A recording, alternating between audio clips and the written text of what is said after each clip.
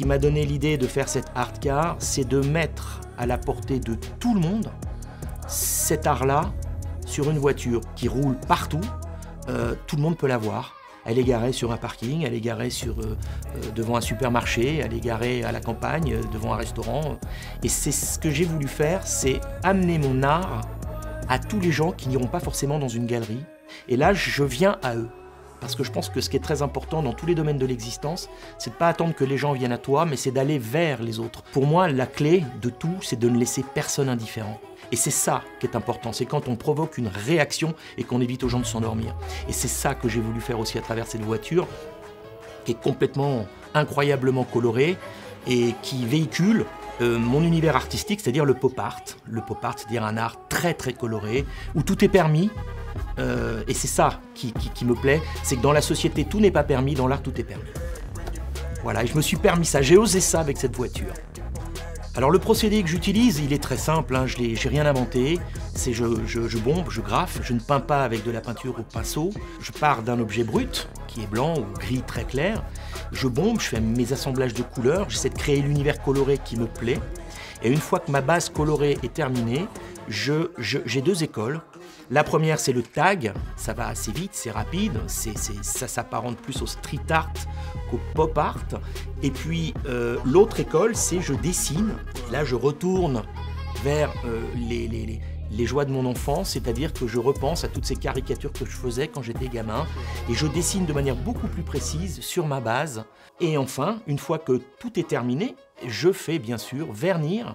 C'est un carrossier automobile en fait qui vernit mes œuvres de manière à ce que le vernis qui est posé euh, puisse euh, résister aux UV et puisse permettre aux œuvres que je fais, surtout les, plus imposantes, ben, d'être exposées sur des terrasses, à l'extérieur, à l'entrée d'un magasin, à l'entrée d'une maison, à côté d'un portail, ou bien sûr à l'intérieur euh, d'un appartement. J'ai eu envie sur cette voiture de mettre un mot à l'attention de mon père, que j'ai perdu récemment, au moment, très peu de temps avant d'avoir écrit ce, petit mot, euh, parce que mon père, euh, qui était dans un univers tout à fait différent des univers artistiques, avait compris à quel point j'aimais ça, et en dépit de ses convictions profondes qui voulaient que je fasse tout autre chose, et qui le conduisaient à me conseiller de faire tout autre chose, il a cru vraiment dans ce projet-là. Et il a tellement cru dans ce projet-là que la première galerie que j'ai dans laquelle j'ai exposé. Il en a été le parrain. Il en a été le parrain à titre posthume parce qu'il devait l'ouvrir avec moi. Il est mort quelques jours avant. Et, donc euh, j'ai voulu, sur cette voiture, lui dédier. Lui dédier cet art et, tout ce que j'ai fait et tout ce que je ferai, je le ferai pour lui aussi. Alors pour conclure, j'ai envie de te dire que j'ai commencé l'art relativement tardivement. J'ai toujours dessiné toute ma vie, mais le faire de manière quasi professionnelle, c'est relativement récent. Euh, j'expose, bien sûr, euh, dans une galerie euh, à Honfleur, qui est ma galerie. j'ai envie d'exposer, et j'ai des projets d'exposer dans d'autres galeries, dans d'autres villes. Et je suis quelqu'un, par principe, qui n'a pas envie de s'arrêter. Je m'arrêterai, je pense je ne m'arrêterai probablement pas. J'ai envie de te dire que je ne veux me poser aucune limite. partout où je pourrais exposer, j'irai exposer. Partout où on aura envie que j'expose, j'irai exposer. Partout où on m'invitera, j'irai. J'irai partout, toujours, tant que je pourrai le faire. Tant que j'aurai la capacité de le faire. L'envie, c'est sûr, je l'aurai toujours. J'ai envie de porter mon art. Et ce qui est très important, et ça je voudrais le préciser avant de finir cette, notre petit entretien, c'est que je souhaite que l'art soit accessible à tout le monde.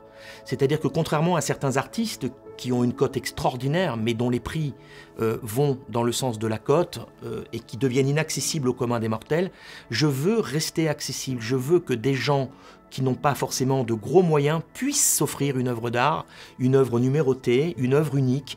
Je veux que, que tout le monde, tous ceux qui ont envie, puissent y arriver à se faire plaisir à travers l'art.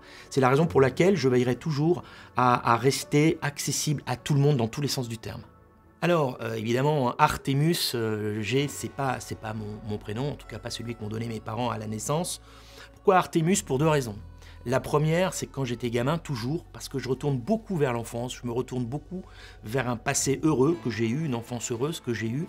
J'étais fanatique des mystères de l'Ouest, ça ne dira plus grand-chose à la jeune génération, mais aux gens de la mienne, euh, ça parle.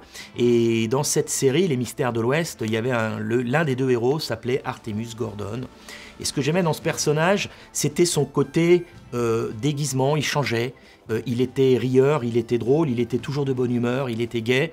Et j'avais un attachement tout particulier pour lui.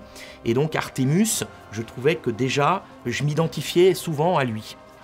Et puis ben, le hasard de la vie veut que j'ai deux passions en dehors de l'automobile, c'est l'art et la musique.